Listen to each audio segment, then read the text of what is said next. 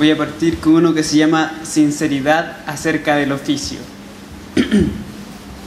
Este lápiz que tengo en mano no se parece nada a la violencia, a las balas perdidas que en este momento caen al mundo, según los medios de comunicación lejos, en el cansancio de ejércitos con nombre, higienizados a la invención de la bandera.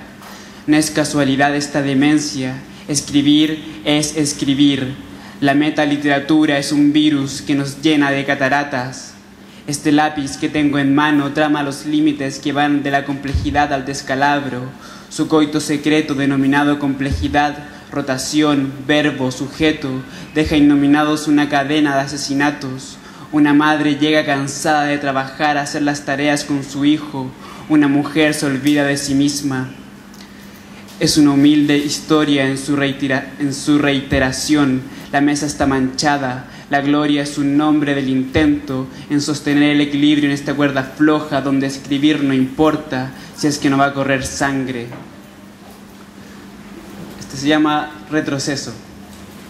La muerte de un anciano en el vientre materno no es más que la típica historia de un desaparecimiento, un viaje de la materia hasta su punto primigenio, donde, donde de un momento a otro queda un espacio vacío. La semilla divina el momento en que nacerá y escapa hacia el cementerio paquidérmico, hacia el no tiempo, donde los días existen como un túnel. Se llama Las palabras de mis amigos. Hay conocimientos que atesoro más que si fueran verdad, porque son la soberbia de niños que fueron mis amigos, que iban inventando mundos por vanidad y por gusto, desde una disconformidad lúcida y poco práctica. Hablar por vanidad, descalabrando las supersticiones, es enfrentarse a la soledad de la belleza, a su vacío y su totalidad. Al atardecer las palabras como acontecimientos caen a la tierra en marchitaciones fecundas que no buscan otra cosa que, ocultarse, buscar resguardo, estar seguras. Por la mañana encontramos un ruido árido, una memoria erosionada que se va humedeciendo con el transcurso del día. Familia. Mi papá me dijo que siempre habría ricos y pobres. Yo escribí con barro la pared. Mamá no está demente. La gente del psiquiátrico es muy amorosa. Luego recuerdo una paliza. Efímera. De libertad tengo esta caída libre hacia adelante en el tiempo y un enfrentamiento con la muerte que no me convierte en una persona necesariamente buena o desprendida de los arquetipos que me programan seguridad. Pero a tu semblante, colérica incertidumbre, la siento como al futuro que pasa frente a mí, con trascendencia minúscula, como un muerto con más posibilidades sobre las calles extintas que sobre la tempestad vagabunda que tienta mis pasos. Hay una aureola de fuerza inexplicable sobre este destino que se dedica a pronunciar tres palabras, no dances sobre, dejando lo demás en silencio, como una meditativa amenaza, como una invitación que aceita mariposas. Siento en mí una ventisca repasada, como su cansancio de espectro que aparenta éxitos, bagajes materiales, fama. Siento en mí el vértigo de esto, que es una caída libre hacia adelante en el tiempo. De vuelta. Me corto las manos y salen mariposas perturbadas por la luz.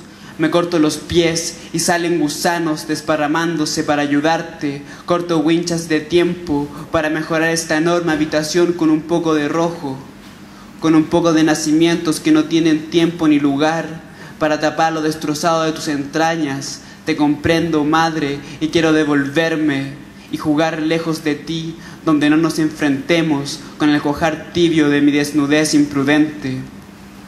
Coreografía. Sobre las manos, sobre el azul, cuando la luz se fue tosiendo el humo al cerrar las ventanas y torpes jugábamos a besarnos, sin la palabra locura y sobre ella la vez, frotándola contra nuestros cuerpos, navegando con azúcar y naranja sobre nuestra piel rojiza. Cuando un chispazo electroscópico nos da la señal, todos bailamos, unos más, otros menos, todos en un, todos en un compás que emergía de la tierra, acurrucados en un olvido mágico, todos vacilábamos. Yo sin moverme, guardando de lejos esa usanza soberbia de mecer la lambada, un torrente escribiendo con las caderas el honesto vaivén del infinito, como un artilugio de magia negra, todos bailábamos, nos envolvimos en la fuerza centrífuga de dos muñecas aferradas en un giro, un par de espaldas se sumergen en el aire. Dos más. Atropelle. Un rincón es la ciudad de selva, y esta ciudad entra hasta nuestras tierras como expediciones de cemento. El turismo es este latigazo.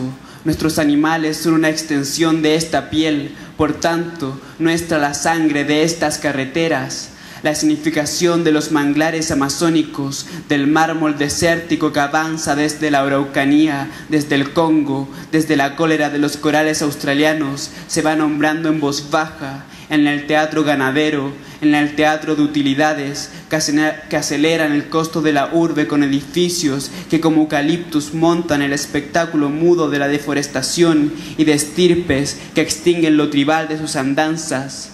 La soya que nos priva de nuestro hogar es el simulacro del hambre, la manifiesta operación Daisy de los árboles que en sí mismos son universos de seres. Las concesiones urbanas no lo entienden y prometen caminos expeditos y comerciales. Allí pasarán las combustiones de biodiesel a toda velocidad. Un rincón es la ciudad de selva, animal acorralado por las balas, la grandeza de las oficinas, la grandeza de los centros comerciales, que en un ritual de opulencia amenazan el aire. Este se detiene sobre las mesas, sobre los escritorios amontonados de papeles y con el tiempo dan una pausa. Es un error en el cromosoma de los relojes, producto de la mutación ocasionada por el transcurso transgénico de las cosas, y las grandes familias se detienen a la hora de la cena, con sus enormes bocas que comen vacío, vacío dentro de los uniformes de servicio de pequeñas familias en silencio.